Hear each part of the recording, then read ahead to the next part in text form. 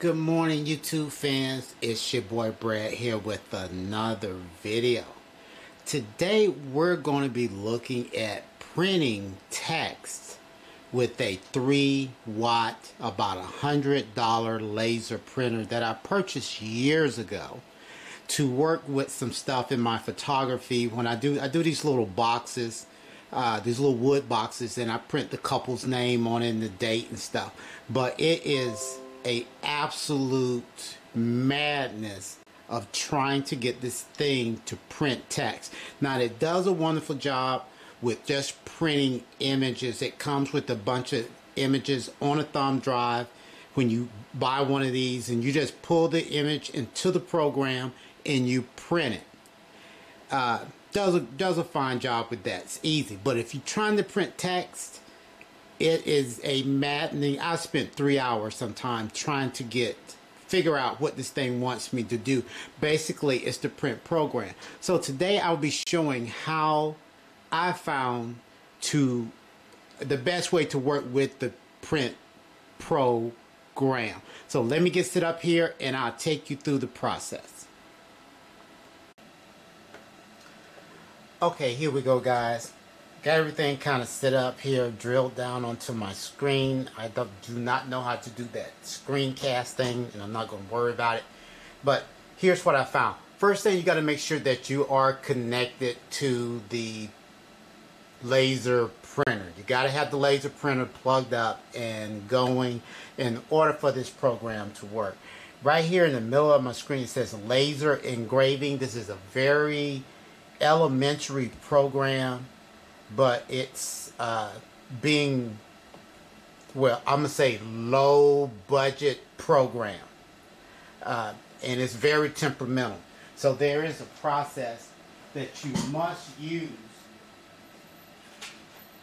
when you go through this program or it will totally mess up on you. I'm going to get my instructions here to show you if you've dealt with this program how to get through it without hopefully it uh, error making an error. And because once it errors you basically close it and you start over again.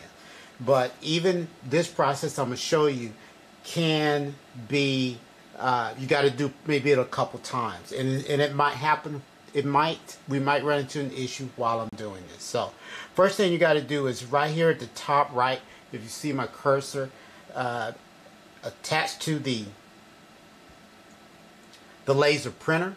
Now we are we are attached.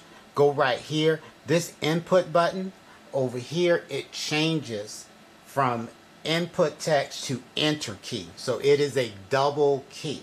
So we click on the input text and we're going to go over here to our text box and I'm just going to backspace because it always shows up with this ABC uh, to let you know this is the text box and I'm going to type in my name. And I'm going to do a three line text so I'm going to show you kind of what happens. I'm going to hit Carl D period. And first thing I'm going to do let me go back. I'm going to put a couple spaces and you'll know why I'm doing this later on. I'm going to put maybe one two three because I want this centered above each other. Maybe three spaces. I'm going to hit enter. You don't see anything there. So I'm going to hit the next, uh, the last name, my last name. Uh, I should have put some spaces. I'm going to hit maybe five, six, two, three, four, five. Okay, it did something weird there. But I'm come down. I, I use my cursor to come over to the end of that and I'm going to hit enter. This is the third line, which is today's date, which is, I'm going to say 0 for March 2022. We got all that in there, right? We don't see what is really going on. Now we're going to come back over to our enter key, over here to our right, and we're going to hit enter. There we go. Now we see the alignment of everything that's there. We see how it's all aligned. And I'm going to actually do something here. I'm, I'm going to move this to the center I'm gonna go over here to the bottom right here. This is a touch screen, so I'm gonna I'm gonna have that move to the center of the screen. You don't have to do that. You can do it from the top left, but so that it's kind of in the center of our picture a little bit. And you heard the laser printer moved its laser to the center of the laser printer. But if you notice here, my text is not aligned uh, above each other. The Carl D needs to go over a little bit maybe to the right. So I'm going to come back over to the top right here and hit the input text. And I'm going to go back, get my cursor in here. I'm going to move back up to my Carl D and I'm going to hit maybe two spaces. One, two. Go back to the enter key. Remember this turns into an enter key. Click enter. Now it's aligned pretty good. Everything looks good, right? Now, we want to, I want to change the font and the size of this. Okay. So now I got to hit the enter key again. You have to be in the program. You don't want to come up here and hit the font key and try to change it now. Hit the enter key over here again. I'm going to just use the touch screen. I'm back in. Go up here to the A. You see my cursor at the top. This is your typeface, your... Come on.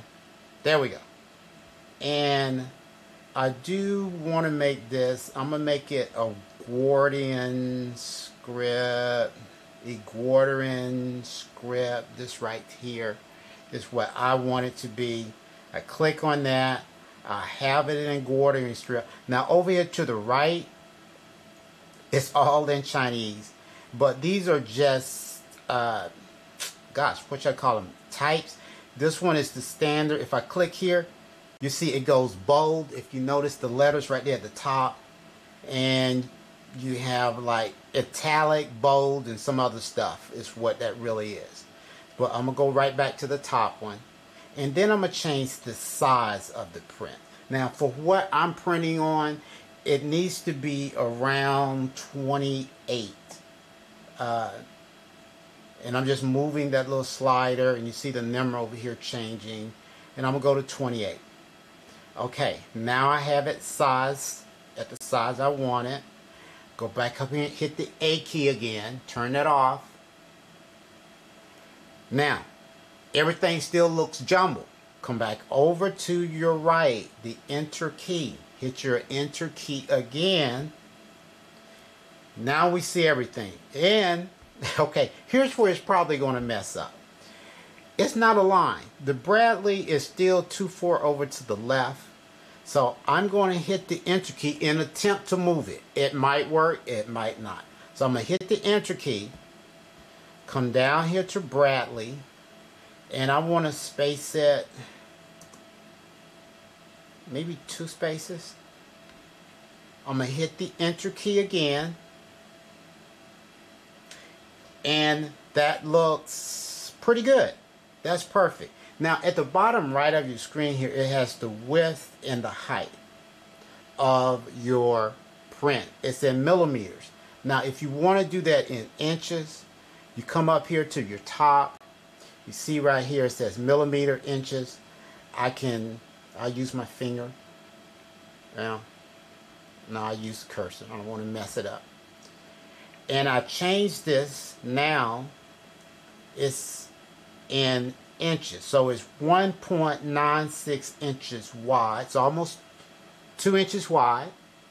And the height is 1.062 inches. So right about an inch tall. So that is the size of what I'm going to print.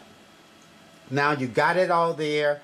Here's a good time to save your work you go up here to the little disk uh, here and click save you can't tell it what you want it to save as you can't give it a name it's going to do its own thing and it's basically going to put it where it wants to put it so it says save uh, success. It's going to put it on my desktop and it's giving it this uh, BMP uh, bitmap. I guess that's what that stands for. Number.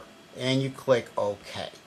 Now you have saved this and you can use it later on. You just bring it in.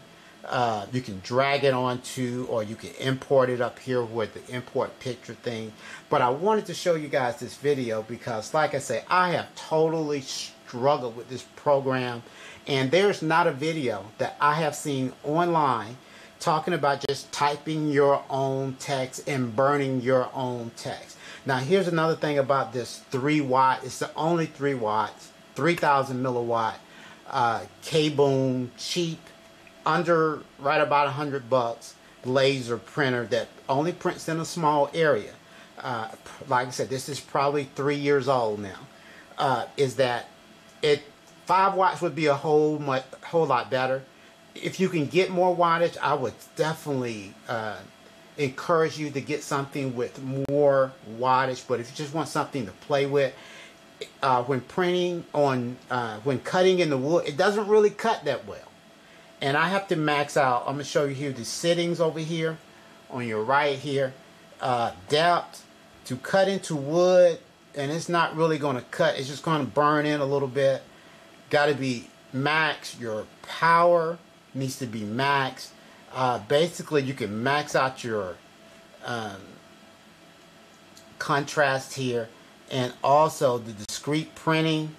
See, I changed that. And so it went to its own setting uh, discrete engraving. I'm sorry. Basically, I haven't seen a difference between these two. The black and white and discrete engraving when you're uh, printing in wood or trying to cut into wood does not make a difference. But you definitely uh, want to max this out when you're doing wood. Now, you're doing some other stuff like you're just cardboard or or I don't know, plastics, whatever you're doing, uh, you need to do a test you know, on a piece of scrap or whatever to get the uh, see what power levels you really want to use. If you're doing a, a test on a piece of cardboard, you don't need to set these up to these max settings. You know, before you print on wood, you say, hey, I want to do a test print first.